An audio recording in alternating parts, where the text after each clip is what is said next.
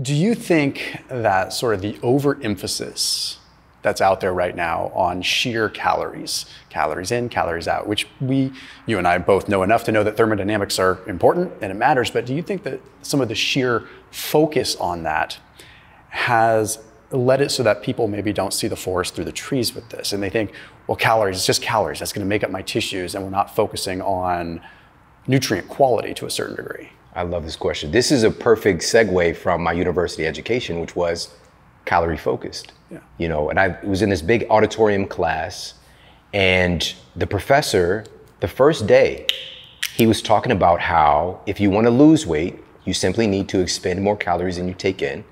If you want to gain weight, it's the opposite. And if you want to stay in the same weight range that you are, then it's going to be kind of a match of the two. Sidebar, he was overweight, notably overweight. And he was a great, he was a smart guy, absolutely. And was the science that he was teaching working for him? And also for us as a people, society wide. And I know myself personally and so many people that I work with, we, we, we did that thing. You know, we, we went into the caloric management and we might have gotten some results. And some people do. Let's not negate that calories matter. But for me, whenever I hear about any kind of term like that that is so like globally recognized, and yet there's a mismatch in how it's all happening, I ask, where did it come from? And I encourage people to start to ask. It's like a good mental ex- exercise. And so in my last book, I went back in history and examined where the calorie came from, the phenomenon, because our ancestors were like, you know, when they're passing, you know, food around the campfire 5,000 years ago, they weren't asking, well, how many calories in that? I'm trying to watch my weight. It wasn't a thing. People just ate food. And so calories actually entered the realm of science and physics. It had nothing to do with food at all. And Atwater was one of the early adopters in transitioning it into food because we have the Atwater system actually on a lot of packaged foods today. And by the way, these packaged foods, they're not using a bomb calorimeter and incinerating the food and finding out how many calories are in that food just as a heads up for everybody. It's an estimate. All these things are just estimates, and it's based on some math from the Atwater system. But the question is, how did it really get into popular culture with nutrition? And it was a physician in the earlier part of the 1900s named Dr. Lulu Hunt Peters. All right, Dr. Lulu Hunt Peters, and she wrote one of the first dietary bestsellers. It, it took off like a rocket. And within those pages, she created a new framework of looking at food and she essentially said, for example, I'm paraphrasing, you will no longer eat a slice of bread. You will eat 90 calories of bread. You'll no longer eat a piece of pie. You'll eat 200 calories of pie. She made this pivot mentally for our society to stop looking at food as food and all of its complexities, but to start to look at food in numbers. Another sidebar, she struggled with her weight, even through that process of being this kind of glorified. And we're seeing this also in our health so-called health eaters today as well.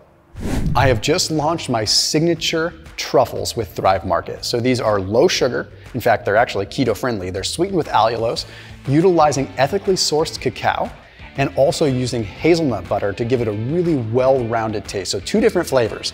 There is a hazelnut pecan crunch, which literally has a crunch to it. It's like velvety smooth, but then when you bite into it, you get the crunch in there as well. And a hazelnut mocha flavor for those that like that little coffee bite to it as well. So these things are completely low carb. There's only a tiny, tiny bit of sugar in them to begin with. The primary sweetener is allulose, and everything else is ethically sourced. So I partnered up with Thrive because We've worked on products together, but it was finally time for us to actually create a product that has the Thomas DeLauer signature on it. So that link down below saves you 30% off your whole grocery order through Thrive Market, but you're more than welcome to apply that 30% off to these truffles as well, which are priced at $10.99, so they're not too bad to begin with, but then when you apply that 30%, it's even better. Plus, you get a free $60 gift whenever you sign up with Thrive Market as well. So that link is down below in the top line of the description underneath this video. You know, and we don't need to get too much into that, but you can see that there's often a mismatch in the people in the top offices in government. Now, with that being said, it did provide some value because we can start to look at the energy context of a food. And a bomb calorimeter incinerates the food, and basically we're seeing how much water can be heated up as a result of incinerating that food. But here's another lead into this point, which is our bodies are not bomb calorimeters that completely incinerate a food. There are certain things that are digestible, there are certain things that are not, there are certain things that use more energy just to digest the food. Like our bodies are so complex in how they interact with food and start to get tunnel vision.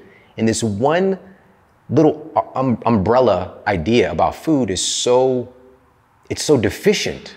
It's a great word. It's so deficient in the complexity of what food really is. And so how do we address this? We understand that yes we can use calories as a means of understanding food from one micro perspective but today we have all of these epicaloric controllers that we've identified that actually control what calories do in our bodies because we know that calories interact with my body differently, from your body differently, from everybody else listening. And one of those, just to give folks a heads up, researchers at the Albert Einstein College of Medicine did some fascinating research and they found that there's a particular area of the brain that's determining downstream caloric interaction. And what they found was that this rapidly growing phenomenon called hypothalamic inflammation. So, inflammation in our brain so neuroinflammation, but specifically of the hypothalamus, which in many ways is kind of like our internal, internal thermostat is located there. HPA axis, a lot of folks who are into science have heard of this, this information superhighway. Your thyroid is along that axis, your gonads are along that axis. But the hypo, hypothalamic inflammation they found was directly leading to increased belly fat and insulin resistance. And increased belly fat and insulin, insulin resistance was creating more inflammation in the hypothalamus. It's creating this vicious circle. And researchers at Yale found that if for some reason there's disruption in what's happening in the brain, in its communication, for example, brain inflammation, your brain could literally tell your gut to decrease or increase the absorption of calories from that meal. We're talking, these are top tier scientific institutes. All right. Yale isn't just, it isn't you know, Florissant Community College. No disrespect. There's a community college at my in my state. These are top tier places, but people aren't hearing about this science that wait, my perception, what's happening in my brain, could influence how many calories I'm absorbing from my food? Yes, absolutely. Absolutely can. And on top of that, one of the biggest fields right now that's just growing so rapidly, and I'm grateful for this, but we don't want to get tunnel vision on this as well, but the microbiome is having a moment right now, for sure. And researchers at the Weizmann Institute identified that certain bacteria clearly, if people have a higher ratio of these categories of bacteria, firmicutes in particular, you are going to absorb more calories from your food than your identical twin. So literally look, you can't get any more similar than that. But looking at identical twin studies, and this was compiled by researchers at St. Louis University, another shout out to my hometown. Um, but this huge database of identical twins, again, finding that if they have a higher ratio of firmicutes uh, compared to, you know, bacterial bacteroidetes or bacteroides, these folks that have high, by, I'm thinking about firmicutes, just something to remember that I heard from my friend uh, Alan Christianson, Dr. Al, Dr. Alan Christianson. He said that if you want to be firm and cute, you want to avoid having too many firmicutes. It's funny, the way I've always remembered it is just very similar. I just remember like fat is not firm Fat is not for that's just how I've just See like the little mnemonics, yeah, man. Bacteroidetes and firmicutes, it's, it's like it's so easy to flip flop them too. Like I'm not a microbiologist, you know. Yeah. these just these little cool things, but we start to understand these are just two broad categories of bacteria, by the way. But having a higher ratio of these bacteria. So what the researchers at Weizmann Institute, by the way, here's what they found. So this was crazy. They found that by altering the microbiome of laboratory animals of these mice, they could substantially increase their caloric assimilation and make the mice gain weight, even eating the same diet. All right. And here's the crazy part. How they did this was taking bacteria from humans adding, putting them into the mice. So they disrupted the human sleep cycle. All right. So they basically, you know, put them through multiple time zone change, and they seen a, a change start to happen in their bacteria ratios that more was correlated with people who had insulin resistance and obesity just by their sleep being disrupted temporarily. And put this into mice, and it made the mice gain more weight. All right, crazy stuff. But they could do the opposite. So people who had a lean, what they call quote lean bacteria makeup, added to the mice, eating the same diet, the mice gained less weight. All right, so our bacteria have a huge influence. It's another epicaloric controller, right? So we've got our brain as an epicaloric controller. We've got bacteria being an epicaloric controller. We've got the makeup of the food itself being an epicaloric controller because the protein fraction versus carbs versus fats, your body is going to, you mentioned the thermogenic nature of food. It's going to metabolize food. Certain foods are more expensive calorically to process. Protein is, is that category. And part of the reason it is, it is necessarily because protein is harder to digest. Based on, I've been in this field for 21 years. Based on the majority of data and also just a little bit of logic, I feel that that energy focus on protein is because protein is so valuable. I mentioned earlier, it's you, if we're gonna have hormones, if whether it's testosterone, whether it's insulin, whatever, we need protein building blocks to make any of that stuff. Your body takes it seriously. When it can get its hands on some high quality protein, it's gonna do everything it can, extract every little bit of that because it's ma- it's making so much stuff. Last piece with that, and I'm just going back to university biology class, DNA to RNA to proteins. DNA to RNA to protein. When I see you, I'm seeing the protein you've eaten predominantly. Of course, the minerals are in the mix there, but it's mainly proteins. Proteins are the ultimate kind of copies that are getting printed of us. Now, the cool thing where we're at today is that we know about, I mentioned epicaloric, epigenetics.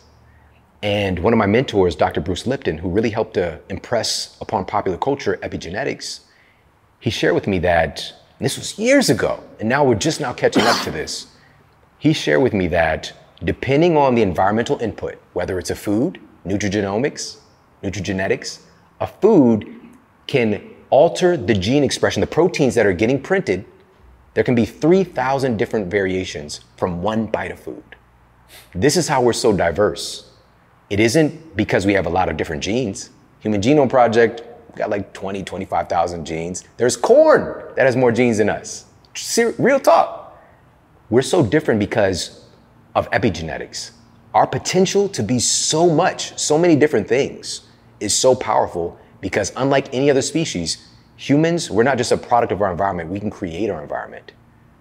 And last little bit here, one of the things he always kept referring me back to, even when I get ahead of myself with nutrigenomics and nutrigenetics and just like because I'm so obsessed with food at the time, he's like, Shawn, it's the mind first. It's always the mind first. Because your mind alters your chemistry instantaneously. And your perception, even of the food that you're eating, is going to determine the effects that it has on your body. And one of the coolest studies that affirms this was done by Alia Crum and her um, and her assistants at Stanford at the time.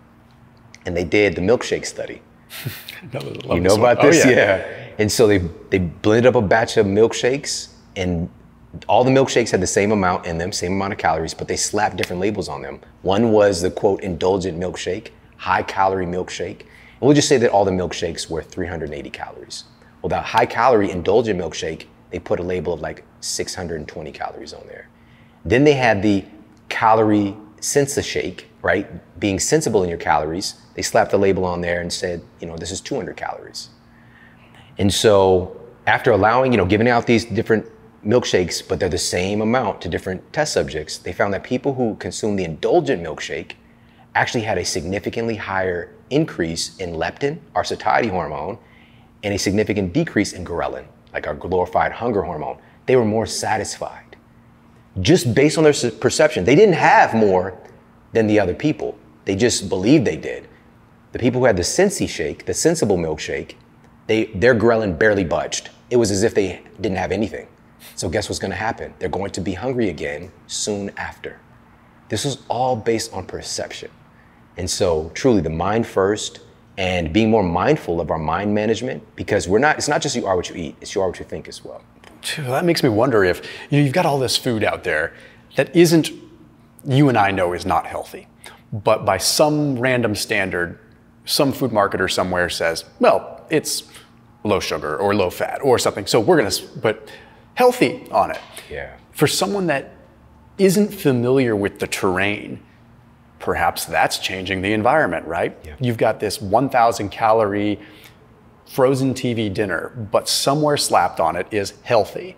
And now, you know, if I gave that to let's say I've, I've got some loved ones in my family that are very overweight. If I gave that to them, they'd probably finish that and be like, oh that didn't that didn't satisfy me at all. Like that that dang healthy tv dinner you know give me a banquet meals one. Like let's let's bring it to town. I'm like well actually you ate more calories in the banquet meals one. It just said healthy on it. So it makes me wonder it's like yes there's our perception but there's also a forced perception. Like because this environment is created